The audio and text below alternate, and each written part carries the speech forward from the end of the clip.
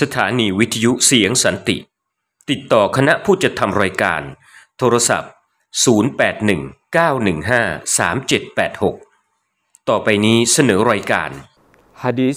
โดยอาจารย์ไฟซ้อนอยู่เป็นสุข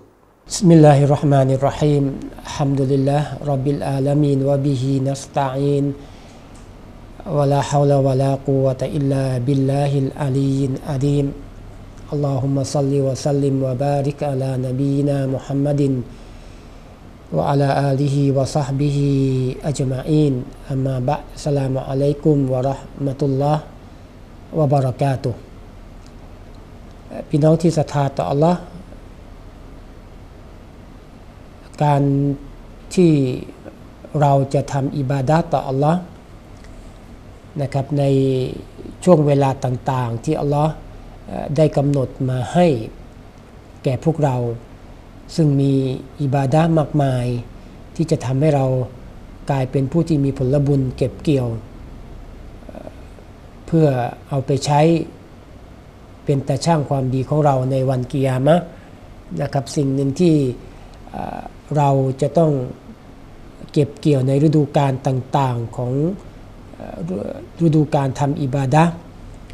นอกเหนือจาก ฤดูการที่มันต้องทำทุกวัน นั่นก็คือเรื่องของการละหมาดให้ครบวันกับคืนหนึ่งห้าเวลา การทำความดีต่อพ่อแม่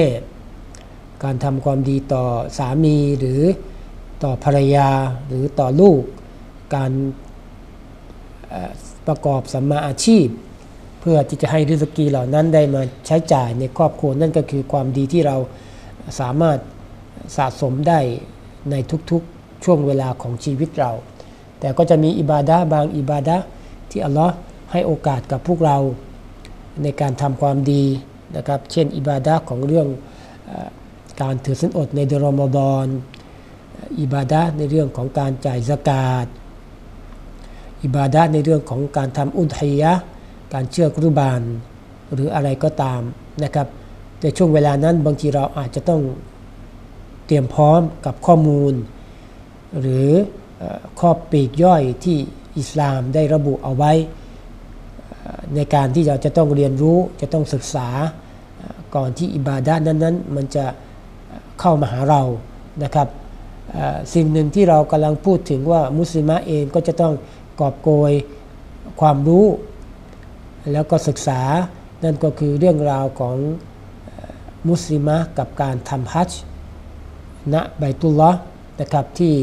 ถือว่าเป็นช่วงโอกาสดีๆ ของคนคนหนึ่งที่อัลลอฮ์ให้ให้โอกาสหรืออัลลอฮ์ตอบรับดุอา ที่จะสามารถเดินทางไปทำฮัจญ์หรือไปทำอุมรอได้ด้วยกันนะครับ เพราะมันก็คือส่วนหนึ่งที่มันจะจะเป็นผลบุญให้กับพวกเรา เพราะท่านนบีบอกกับพวกเราบอกว่าอัลอุมรออิลัลอุมรอกับฟารอตุน การทำอุมรอของคนคนหนึ่งนะครับ ไปสู่อุมรอในครั้งต่อไปกัฟฟารอตุนนะครับในช่วงเวลานั้นจะเป็นช่วงเวลาที่อัลลอฮ์ลดความผิด ให้กับพวกเขาลีมาไบนะฮูมา ในช่วงเวลาของการทำอุมรอวัลฮัจจุลมับรูดและส่วนการทำฮัจที่อัลลอฮ์ยยอรับการทำฮัจของคนคนหนึ่งไลซาลาหูจาซะแน่นอนครับว่า ใครก็ตามที่ไปทำฮัจจ์และอัลลอฮ์รับฮัจจ์ของเขาในการทำในครั้งนั้น เขาจะได้รับสวรรค์เป็นการตอบแทนนะครับจะไม่มีรางวัลใด ๆ ยกเว้นสวรรค์เท่านั้น ที่อัลลอฮ์จะตอบแทนพวกเขา ซึ่งอิหม่ามบุคอรีแล้วก็มุสลิมได้รายงานเอาไว้ เพียงแต่เงื่อนไขของการทำฮัจจ์ที่อัลลอฮ์สุบฮานุวะตะอาลาจะตอบรับนะครับ มันมีอะไรบ้าง การที่เราจะไปทำฮัจจ์แล้วเราเราอยากจะให้ฮัจจ์ของเราเป็นฮัจจ์ที่อัลลอฮ์ตอบรับ เราจะต้องมาเรียนรู้เงื่อนไขนะครับว่าใครที่ไปทำแล้วมีเงื่อนไขอะไรในการทำฮัจจ์ที่จะเป็นสาเหตุทำให้ฮัจจ์ของคนคนหนึ่ง ถูกอัลลอฮฺสุบฮานุวะตะอาลาพิจารณาในการตอบรับ เพื่อให้สวรรค์เป็นรางวัลกับพวกเขา ข้อที่หนึ่งก็คือการทำฮัจของมุสลิมะหรือมุสลิมีน สิ่งแรกที่เราจะต้องเน้นแล้วก็ให้ความสำคัญก็คือنفقةก็คือค่าใช้จ่ายที่จะได้มาในระหว่างการทำฮัจญ์เช่นอะไรครับ ค่าพาสปอร์ตค่าวีซ่าค่าที่พักอาหารที่เราจ่ายให้กับแซะห์รือผู้ประกอบการเนี่ยนะครับ ทั้งหมดที่เรา เป็นแพ็กเกจเรานะครับจะเป็น 2 5 0 0 0 0 2 0 0 0หรือ 3 0 0 0 0อะไรก็ตามเนี่ยเขาบอกว่าฮัทของเราที่เราจะไปทำในครั้งนั้น จะต้องเป็นนาฟกอตแบบไหนครับฮาลาลต้องเช็คว่ามันเป็นเงินฮาลาลหรือเปล่า ทั้งหมดที่เราจ่ายเข้าไป จะต้องไม่มีส่วนประกอบของคำว่าฮารอม อยู่ในนาฟกอที่เราจ่ายให้กับบริษัทหรือให้กับผู้ประกอบการ เพราะท่านนบี สุลต่านละอะลัยฮิวะสัลลัมได้เคยบอกกับพวกเราว่าอายุฮันนาสโอ้มนุษย์ทั้งหลาย อินนัลลอฮฺตอยยิบุนอัลลอฮฺสุบฮานุวะตะอาลาเป็นพระเจ้านะครับที่มีแต่ความดี มีแต่สิ่งสวยงามนะครับลายักบาลุอิลลาตอยยิบันฉะนั้นอะไรก็ตามที่เราจะทำอิบาดะเพื่อไปส่งต่อให้อัลลอฮฺสุบฮานุวะตะอาลาให้ได้ยอมรับ ต้นกำเนิดของอิสลาม เป็นศาสนาที่สามารถพิสูจน์ถึงความสายบริสุทธิ์ได้นะครับก็คือปราศจากเรื่องของการทุจริต เรื่องของการขโมย ฉะนั้นอะไรก็ตามที่เราจะทำเพื่ออัลลอฮฺสุบานุวตะอาลาในอิบาดาหนึ่งอิบาดาใด สิ่งที่เราจะทำนั้นจะต้องได้มาจากของที่ดี เราจะละหมาด เราก็จะต้องดูว่าเสื้อผ้าที่เราละหมาด เป็นเสื้อผ้าที่ฮาลาลหรือเปล่านะครับไม่ได้ไปขโมยเข้ามาไม่ได้เอาเงินของชาวบ้านมา โกงกินแล้วก็มาซื้อ หรืออาหารที่เรากินเข้าไปนะครับเช่นเดียวกันกับการทำฮัจฉะนั้นนาฟกอที่เราจ่ายไปกับการทำฮัจนั้นหนึ่งจะต้องเป็นเงินบริสุทธิ์ที่ไม่ขัดต่อหลักการของศาสนา وإن الله أمر المؤمنين بما أمر به المرسلينฉะนั้นอัลลอฮ์สั่งใช้ให้مؤمنทำอะไรก็แล้วแต่ที่เป็นรูปแบบของعبادةอัลลอฮ์ก็จะสั่งให้กับบรรดาأنبياءได้ทำมาก่อนหน้าพวกเรา ฉะนั้นอะไรก็ตามที่รอซูลถูกใช้ให้ปฏิบัติในเรื่องราวของศาสนา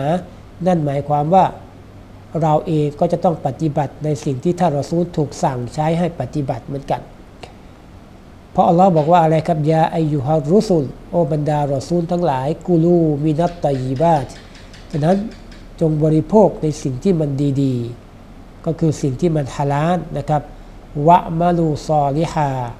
และจะต้องเป็นผลงานที่ดีด้วยนะครับอินนีบีมาตะมาลูนาอาลีมฉะนั้นแท้จริง ฉันรู้ในสิ่งที่พวกท่านได้ประพฤติปฏิบัติเอาไว้ ฉะนั้นข้อที่หนึ่งนะครับฮัทของเราจะต้องเป็นฮัทที่เส้นทางการทำฮัทของเรา อย่างน้อยริสกีที่เราได้มาจะต้องเป็นริสกีที่ฮาลาลนะครับ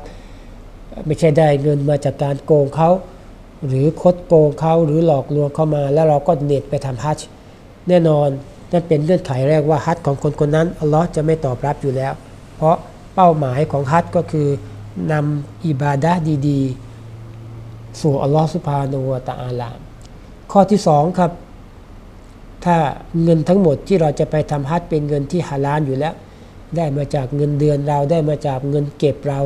ได้มาจากการค้าขายที่ฮาลาลได้มาจากหยาดเหงื่อแรงกายที่ฮาลาลเมื่อไหร่ครับ ข้อที่2ต้องระวังเรื่องอะไร ก็คือระวังในช่วงเวลาของการเดินทางไปทำฮัจนะครับ โดยเฉพาะช่วงเวลาไหนครับ ช่วงเวลาของการคลองอิฮรอม ซึ่งผู้ประกอบการทุกครั้งนะครับที่เราได้กว่าแซนเนี่ยจะให้ความสำคัญกับพวกเรามากว่า หลังจากที่คนคนหนึ่งคลองอิฮรอม ถ้าเป็นผู้ชายก็คือใส่นุ่งขาวห่มขาวเนี่ยนะครับ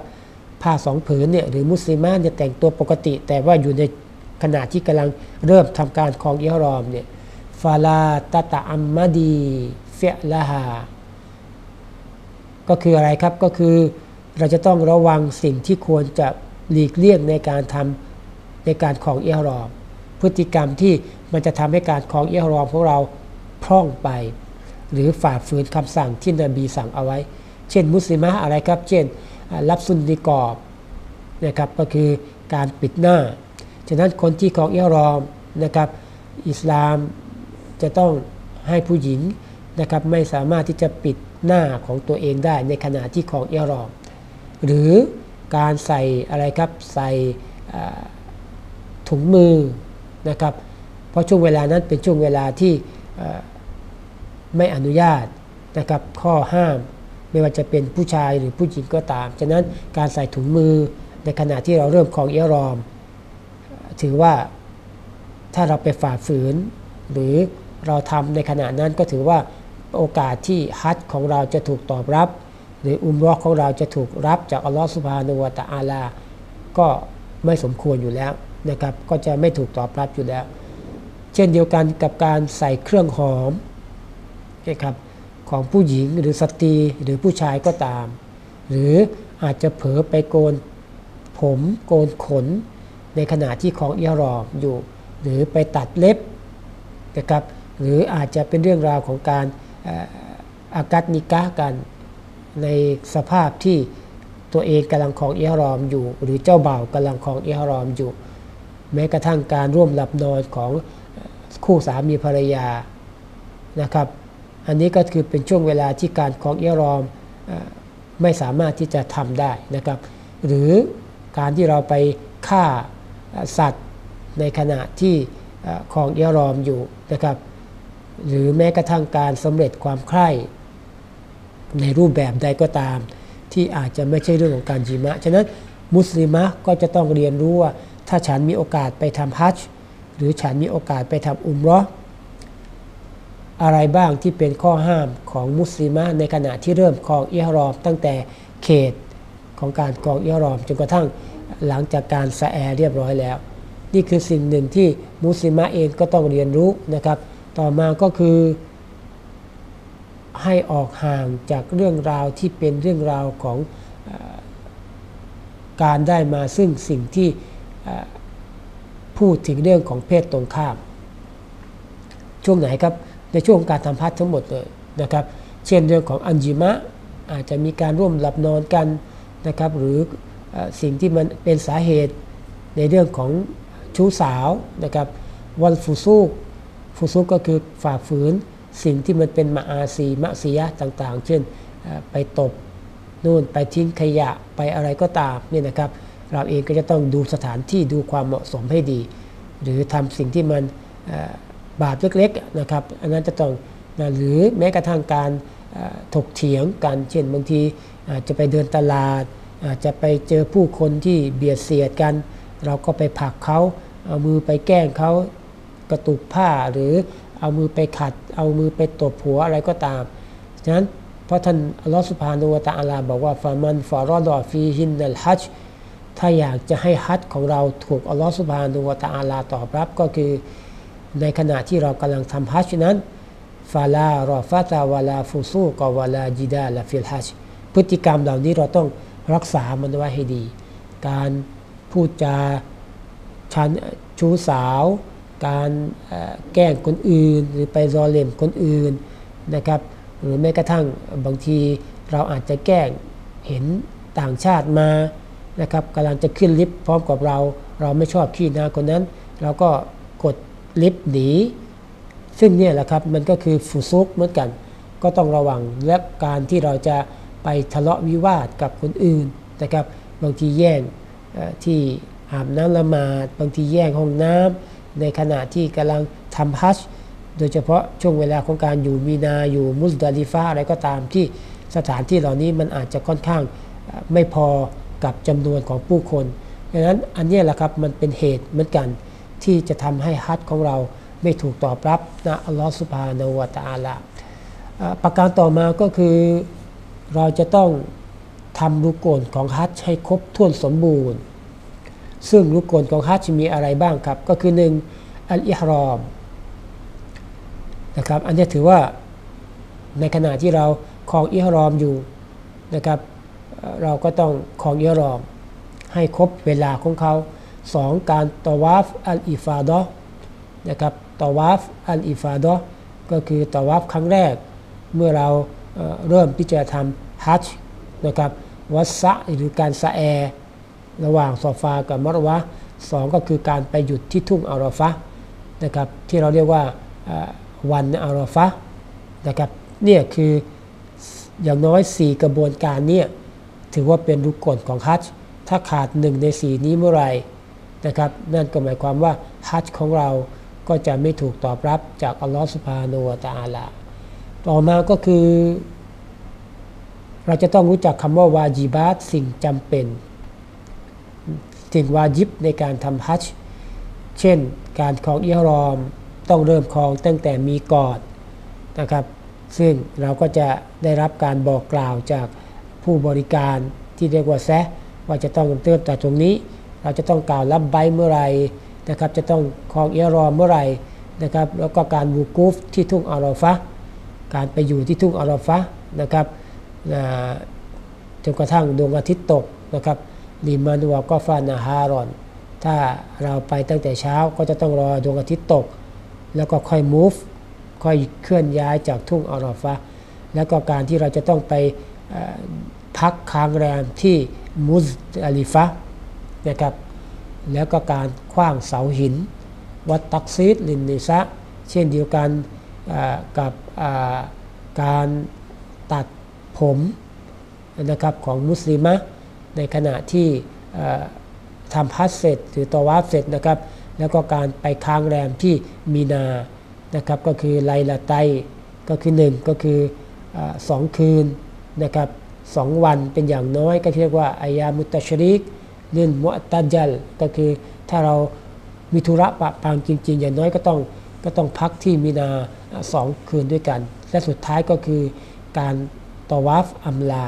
อันนี้ถือว่าเป็นวาจิบัต ทั้งหมดทั้งปวงเนี่ย ถ้าเราทำครบเมื่อไหร่ นั่นหมายความว่าฮัทของเราก็จะเป็นฮัทที่อัลลอฮฺสุภานวตาอาลาตอบรับ แต่ถ้าเราขาดข้อหนึ่งข้อใดไปนะครับ นั่นแหละก็หมายความว่าเราเองก็จะไม่ใช่บุคคลที่เป็นฮัทที่อัลลอฮ์ตอบรับ นั่นหมายความว่าสวรรค์ก็อาจจะไม่ใช่เป็นของเรา ซึ่งต้องผ่านกระบวนการเรียนรู้ เราจึงไม่แปลกใจครับว่าทุกครั้งที่มีการทำอุมรอทุกครั้งที่มีการทำฮัจเราจะมีการสัมมนาของเฉพาะกลุ่ม นอกเหนือจากนัดแนะกันเรื่องการเดินทาง นอกเหนือจากนัดแนะกันเรื่องของอาหารสเสบียงที่เราจะใช้นะครับ สิ่งหนึ่งที่มันจะบอกก็คือรูกลต่างๆ ในช่วงเวลาของการทำฮัจจ์ในช่วงเวลาของการทำอุมรอ พื่ออะไรครับ เพื่อจะทำให้การทำฮัจของเรานั้น เป็นฮัจที่ถูกตอบรับจากอัลลอฮฺสุบฮานาวะตาลา เพราะท่านนบีนะครับได้เคยบอกว่าอุมิรอนนาสุไอยากูนูอาคิรุอาดีฮิมบินไบต์ก็คือนะครับการที่เราจะต้องหรือนบีสั่งใช้พวกเรา หรือมนุษย์ให้ให้ไปอยู่ที่ตรงนั้นนะครับอิลลายกเว้นว่าจะมีเหตุจำเป็น เช่นมีเหตุมีอะไร นั้นอีกในกรณีหนึ่ง ซึ่งต้องผ่านการเรียนรู้นี่แหละครับ เราจึงบอกว่าฮัจมับรูดก็เป็นเรื่องที่เราจะต้องเรียน ทั้งมุสลิมะและก็มุสลิมีน เพราะโอกาสการทำฮัจญ์ของเรา ผมเชื่อว่ามันก็อาจจะเป็นแค่ครั้งเดียวในชีวิตของพวกเรา ฉะนั้นก่อนจะไปก็ควรจะศึกษาให้ดี เพื่อจะทำให้ฮัจญ์ของเรากลับมาแล้วมีสวรรค์จากอัลลอฮ์รองรับ ในตัวของพวกเราครับوبالله التوفيق والهداية والسلام عليكم ورحمة الله وبركاتهที่จบไปแล้วเป็นอาจารย์ ไฟซอล อยู่เป็นสุข ผลิตรายการโดย สถานีเสียงสันติ คลื่นความรู้สู่ผู้ศรัทธา สถานีความรู้ ข่าวสาร บริการสาธารณะ รับชมรายการย้อนหลังได้ที่ YouTube ค้นหาชื่อมุสลิมออนแอร์